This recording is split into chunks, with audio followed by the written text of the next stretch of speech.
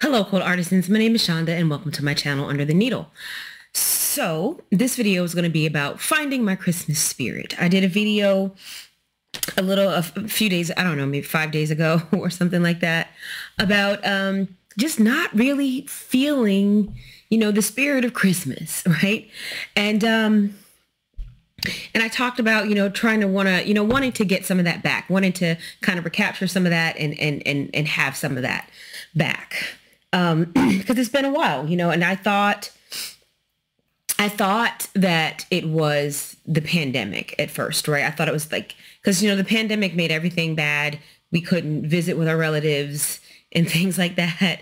Um, and then I'm working from home now. And I thought maybe, you know, just because I'm working from home, and I don't get to go out in the world every day and interact with people, that that could be negatively impacting my spirit of Christmas, right?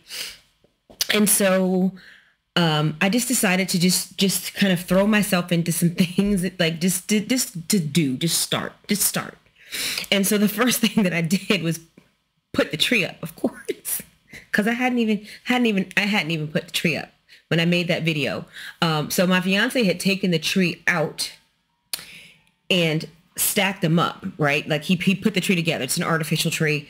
I will not do another real tree probably ever again in my life. Um, that's another story. But um, so he had put the tree up, but it needed to be fluffed. And he's a man. He he can't do that. Fluff all those branches, right? So I needed to fluff all the branches and then get the lights on so that we could all decorate it. And I just hadn't done it. So that was that was step one. Uh, step one was I put the lights on the tree. That same day I made the video. And then we, me and the kids and uh, my fiance, we decorated it the next day. Um, and I've been making it a point to go outside every day. Uh, so I go outside. I try to go somewhere every day. Uh, before, you know, my extent of going outside was my, my deck and uh, the mailbox. And that was about it. So um, I've been just making an active um, choice to make sure that I leave my home each day and interact with the world. Um, so I did that Friday, Saturday, Sunday, Monday, today. And um, here's here's here's here's what I realized for myself. And I have to really think about this. I've never really been into Christmas.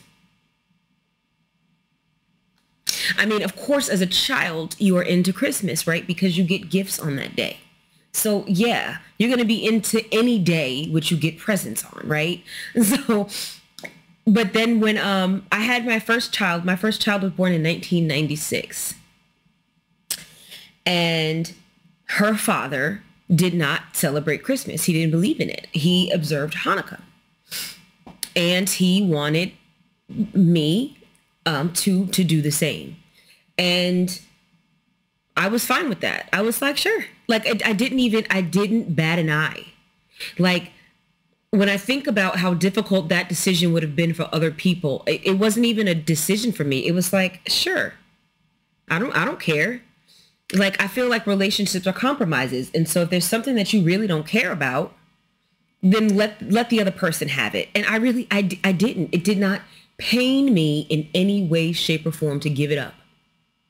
So much so that even when we broke up, I still continued to not celebrate Christmas.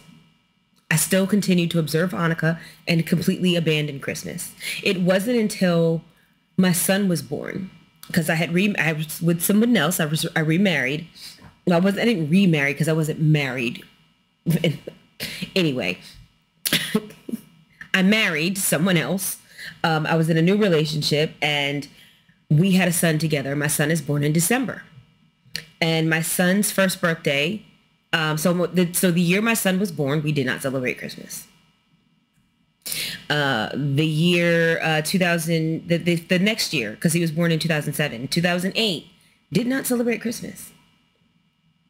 And it never, I never was like, oh, let me go get the baby's first Christmas onesie. And I, I had none of that. I had none of that. I was completely fine without acknowledging Christmas at all. I, I did not feel like I was missing out on anything. I did not feel weird about it. I did not feel left out about it. I, I was fine. Didn't it was fine. Um, so when my husband wanted me, he because he missed that. He's like, you know, I've got this child and I'd like to celebrate Christmas, and I'm like, sure. I mean, it's no big. I mean, because I could literally go either way. So he he asked if we could start celebrating Christmas, and I was like, sure. I don't. I really don't care if it if it's important to you. Let's let's do it. But then I, I threw myself into it because I had three small children. So at that point, my children would be the first Christmas that I celebrated as an adult. My children would have been two, seven, and twelve or 13, something like that. So fun ages still, fun ages for Christmas. So as soon as like November hit, I was already looking for the Black Friday sale papers to come out so I could start looking. And I was very, very uh, poor at that particular point in my life. I did not have a lot of disposable income. Um, and when you're paying for daycare, of course, you're, you know, that's oof, expensive. It, that's very expensive here in the United States of America, childcare. So uh, disposable income was not something that I had because I was paying for daycare, um, full-time full-time care for, for my son. So um, I had to find all the deals and sales and I had to look and I needed to start early so I could gather. I would have time. I would have enough paychecks to spread this out and enough time to find, you know, the right price gift, right? So that that's kind of how I how how I did it. I threw myself into it. Um, and it wasn't really about Christmas. It was about seeing my children's faces when they open their gifts. I'm a I'm I'm a person who likes to give gifts. I'm a gift giver. Um, I, that's probably why I do giveaways on my channel. I am I don't really care about receiving gifts, but I love to give them. It's like my my love language or one of them. Um, so, because my actual love language is words of affirmation, but I love to give gifts. I love to give gifts. And so it was an opportunity for me to give gifts to the people that I love and see the joy that that gave them. And the fact that it was Christmas really didn't, that was kind of irrelevant. It was about, I mean, yes, we put the tree up and we, you know, did all this, you know, the, the decorating and but like I've never been the type to like decorate the outside of my house. I didn't decorate, I didn't put lights up on the outside of my house until last year. And it was only because it looked like all of my neighbors had put up lights that, that year. And I was like the only dark house. And it was like, ooh, let me just throw some stuff out here. So I threw some stuff out just so that it wouldn't be so, so naked compared to everybody else's house but um i've never been a big you know i put a tree up but i've never been a big decorator. I just like the gift aspect of it and going out and shopping for the gifts. Like i didn't mind the traffic and the congestion and the crowds because i was doing something for my kids that was going to bring them joy and that made me happy. So i don't know so much that it was christmas.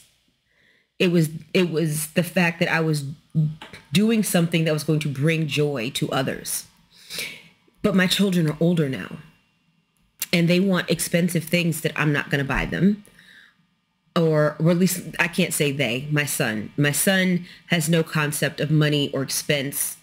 Um, one day he came out his mouth and asked me for a pair of sneakers that cost $250. And I was like, you have lost your mind and you clearly don't know your mother because I would never pay that. I think the most I paid for a pair of shoes for myself, they were, and their sneakers, they're not even leather. They're not even leather. Like, I think I paid like 150 bucks for a pair of uh, like expensive Italian leather booties. You know, like the boots that have, you know, they, they don't come all the way up, but they, they come past your ankle. Them, yeah, you know, I, I did that once, but I still have them. We're talking about a $250 pair of sneakers that he's going to wear outside in the dirt and rain and, and run and play and they're going to be busted up in two months. Like, no, no way, champ. I make him ask his dad for that stuff because I'm not buying it. I'll get you a pair of Air Force Ones for 90 bucks, and that's about the extent of it. So um, anyway, I got distracted. So they want expensive things that I'm not going to buy or um, just, you know, just I mean, how many pairs of pajamas and socks and slippers can I buy you? Like, I'm just running out of things to, because these are adults now. My daughters are adults. They're 20 and 26.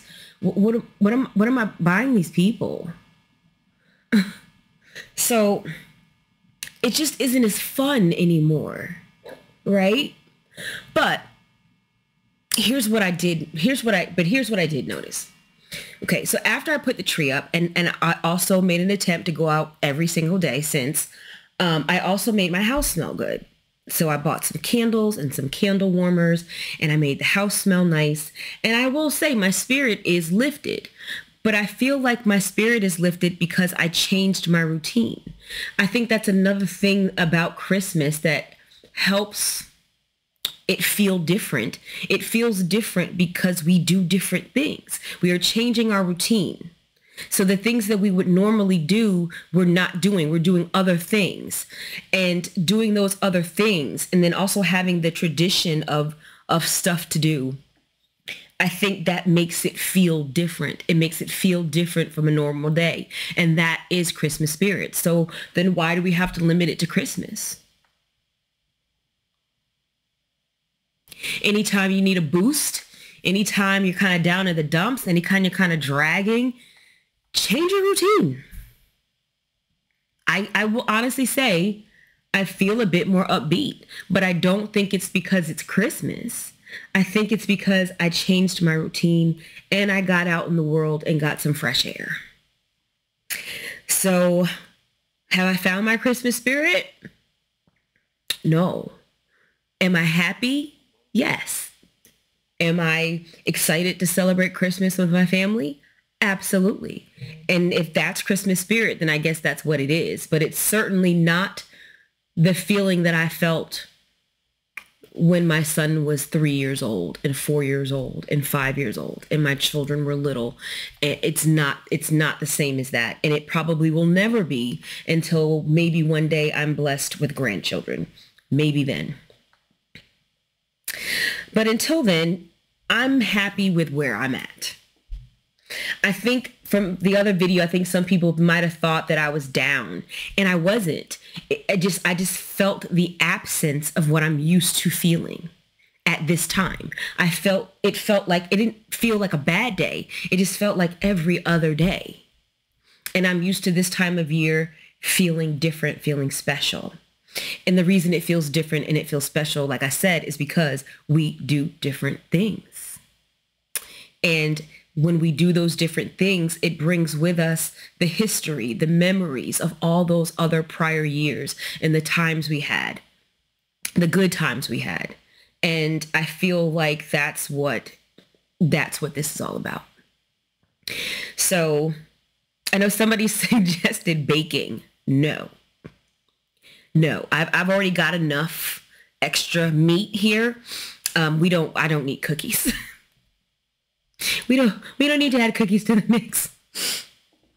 Although I'm sure they would brighten my day and make the house smell lovely. Um, I probably wouldn't be, if I ate cookies, I probably wouldn't be able to fit in this screen.